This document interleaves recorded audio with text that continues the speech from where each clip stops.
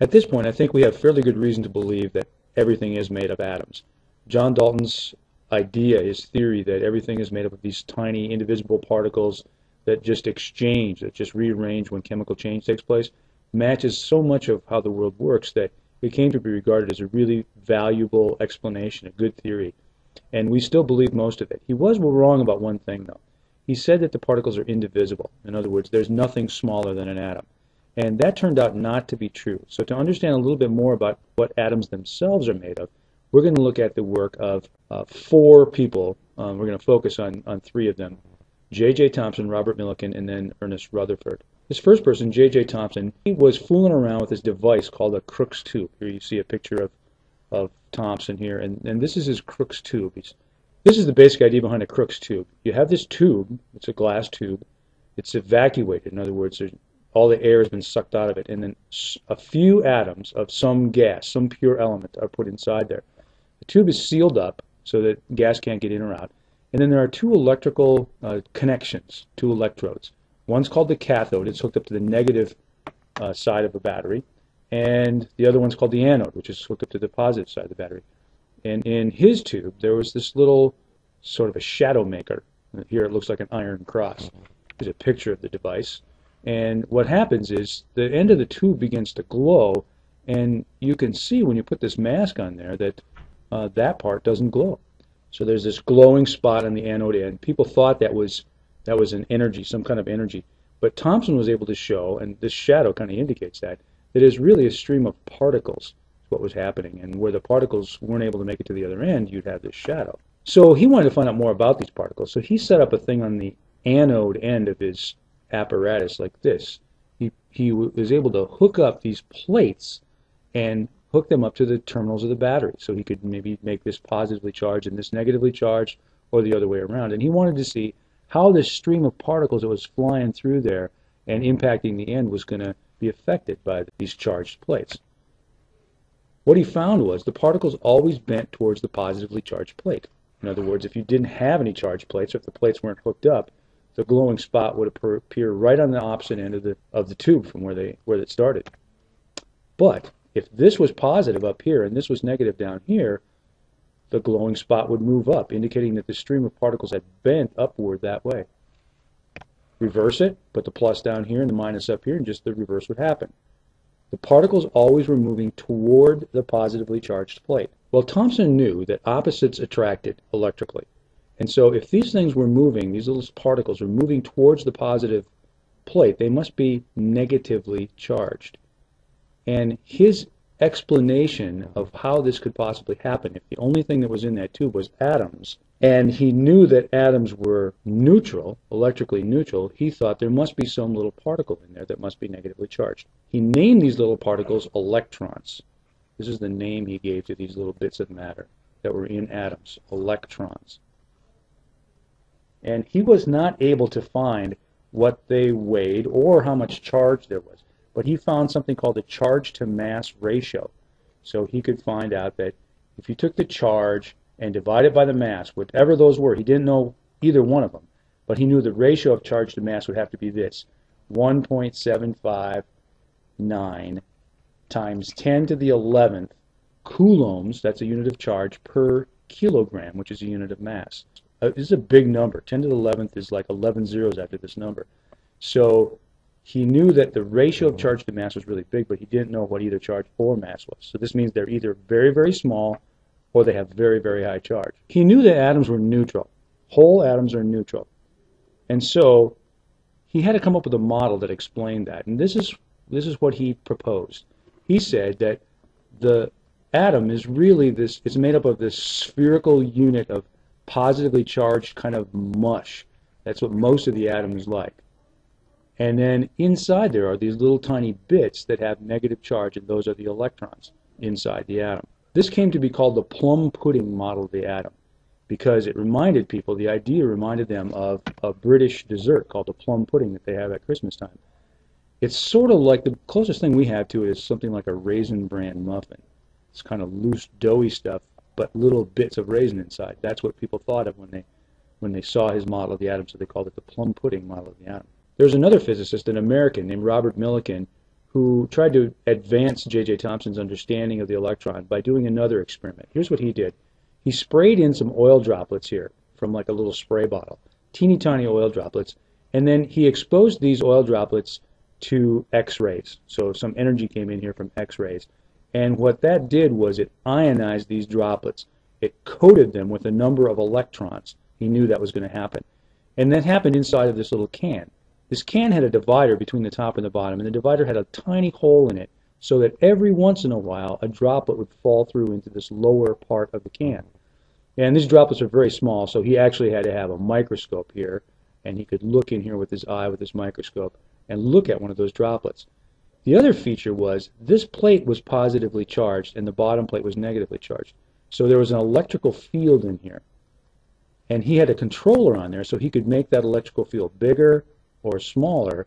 And what he would do was try and get these particles to be suspended in midair. Here's why that would happen. If you think about this particle, obviously all particles, because of gravity, go downward. And they go downward in proportion to how much they weigh.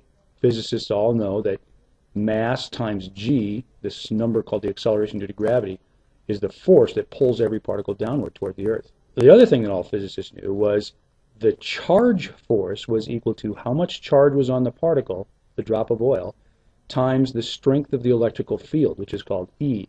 You don't have to worry about the details of this, but know that that, that is balanced. QE and mg are equal to each other because this particle ain't moving any. So here's what this means.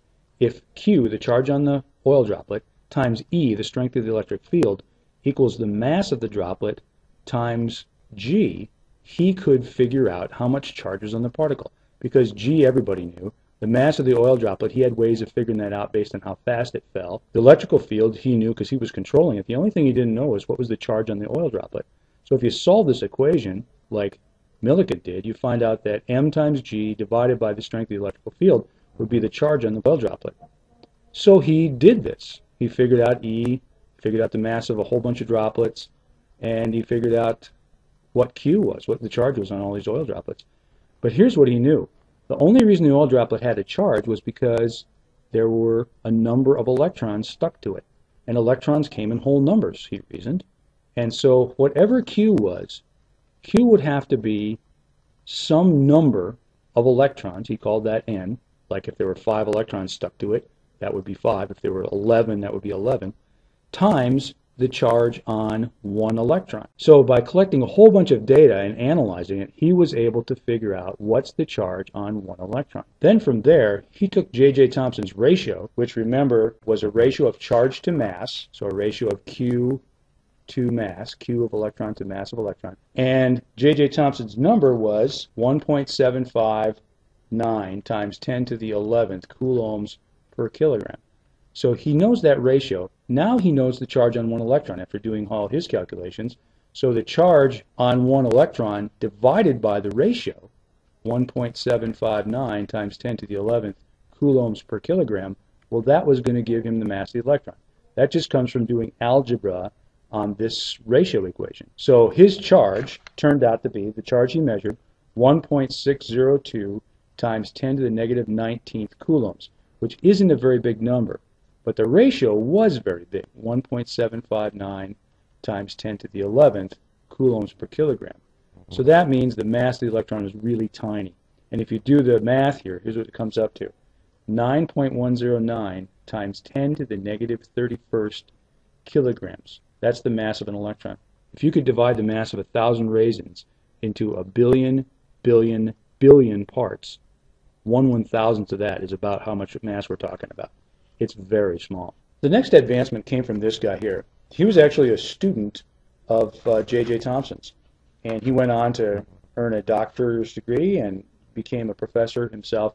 And he was studying something called alpha particle. Here's what they knew about alpha particles. Alpha particles are very heavy compared with electrons. Alpha, alpha particles are much heavier than electrons. And the other thing he knew is they were positively charged. And he wanted to find out how are they going to be affected when they meet individual atoms. What would happen to alpha particles? Here was his experimental setup. He had a piece of gold foil that he hung in the middle. He chose gold foil because he could get it very, very thin. In fact, he could get it just a few hundred atoms thick.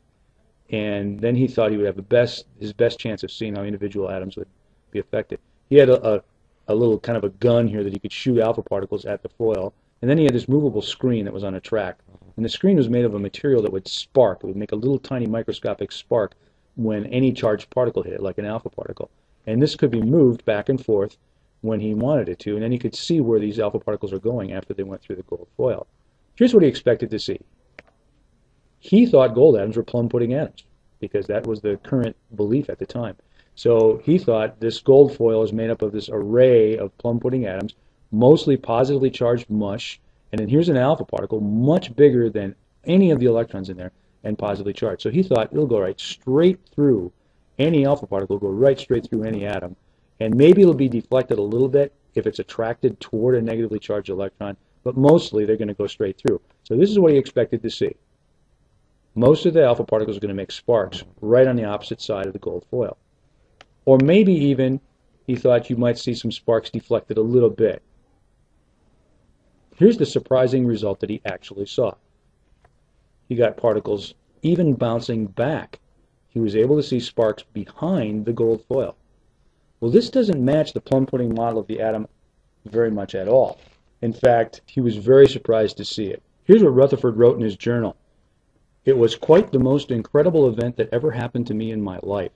It was almost as incredible as if you fired a 15 inch shell at a piece of tissue paper and it came back and hit you. So he was describing this event as if it were a cannonball bouncing off tissue paper. Here's another analogy. Look at this car and this mosquito. Car's moving this way, mosquito's moving this way the proportion between alpha particle and electron is almost the same as car versus mosquito. What you'd expect is the car hits the mosquito and the mosquito either sticks to the screen or bounces off. Here's what happened. The car bounces off the mosquito. Well, that doesn't happen. And Rutherford knew that couldn't happen, so he had to come up with another way of explaining it. So here's what he said. There has to be something inside the atom, and that something that's inside the atom has to be massive. Compared with electrons, it has to be very big, and it has to be positively charged. Because if it wasn't heavy, alpha particles wouldn't bounce off it, and if it wasn't positively charged, well, it would just the alpha particles would just stick to it and not bounce off at all. So he comes up with a new model of the atom. Rutherford's model of the atom has this thing that he calls the nucleus. That's his large positively charged particle inside there. And then the electrons are somewhere on the outside. So there's no longer this spherical space filled with, with positively charged mush. The positive charge, he now believes, is all concentrated inside this relatively heavy thing called the nucleus. And then the little bits that Thomson discovered, the electrons, were scattered around somewhere in the outside. Well, one of Rutherford's students named Chadwick went on to discover that the nucleus is actually made out of two smaller parts. His experiment is a little harder to explain, so we're going to kind of gloss over it. But he found out that the nucleus itself was made of protons, which are positively charged, and neutrons, which just don't have a charge at all. And then the little negatively charged electrons are scattered around on the outside. And this is pretty much the model of the atom that we accept as correct today. Where are the electrons exactly? That's a tougher question, and we're going to leave that one alone in this class. But if you take a more advanced chemistry class, we'll look in, in greater detail at where the electrons are. And you get into some kind of freaky uh, science when you start to realize that you can't ever really know where these electrons are. So if we want to describe the atom, here are some things that we know about the atom. These details are written down in your notes, and it's not really important that you memorize them, but take note of the sizes. The mass of a proton in grams is about 10 to the negative 24th grams. That's a very small number. These don't weigh very much. The charge on a proton is 1.602 times 10 to the minus 19th coulombs. You might recognize that number from Millikan.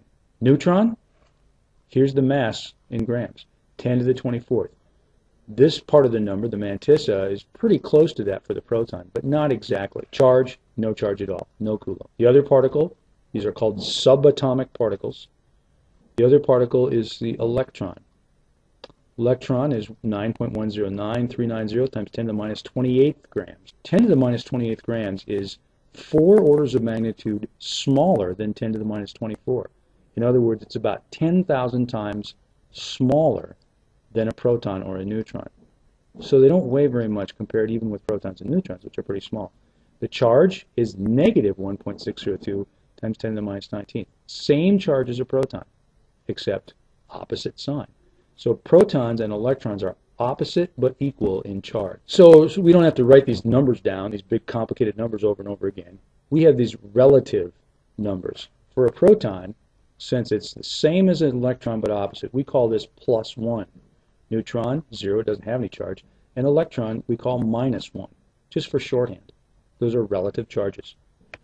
We also have relative masses. Since protons and neutrons weigh about the same, we define the mass of a proton and a neutron in terms of atomic mass units.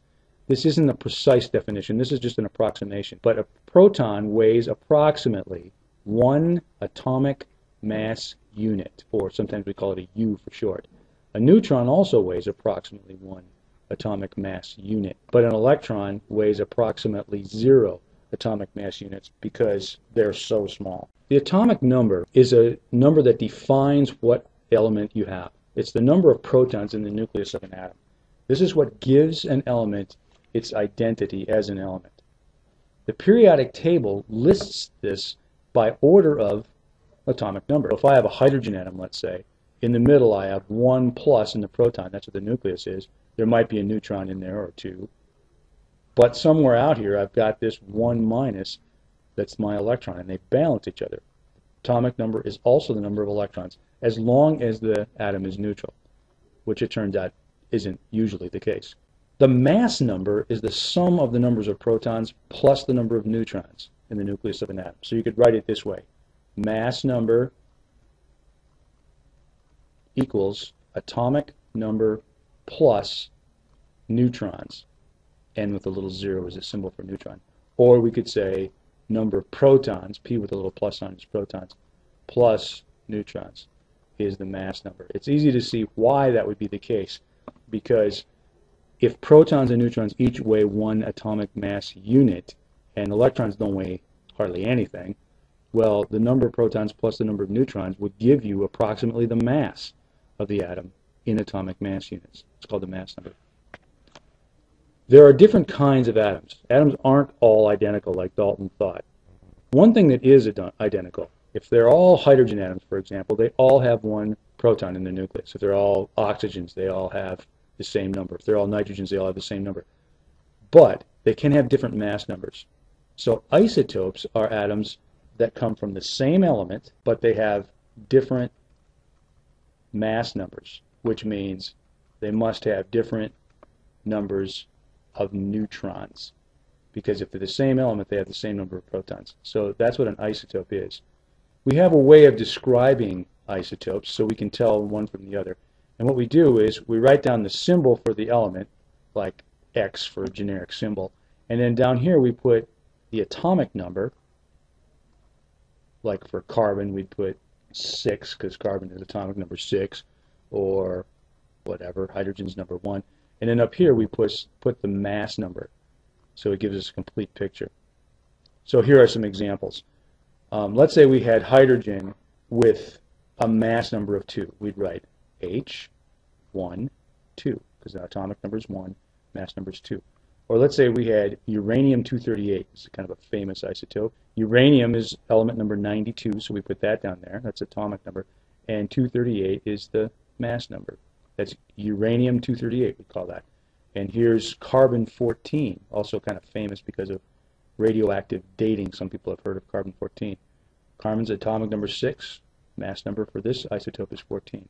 So another way of writing this is called hyphen notation. So we'd write this hydrogen 2. We'd write this uranium 238.